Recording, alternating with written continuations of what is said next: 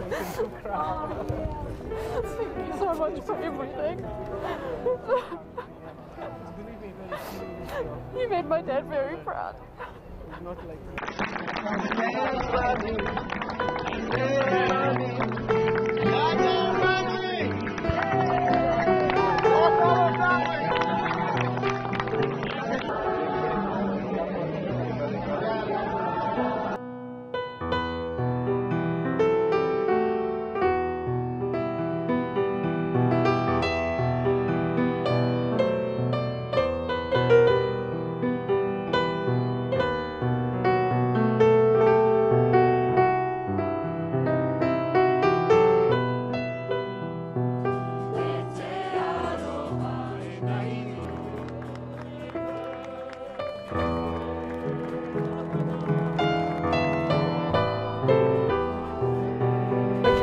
glad that you are glad glad all of us from Ayub was person like this.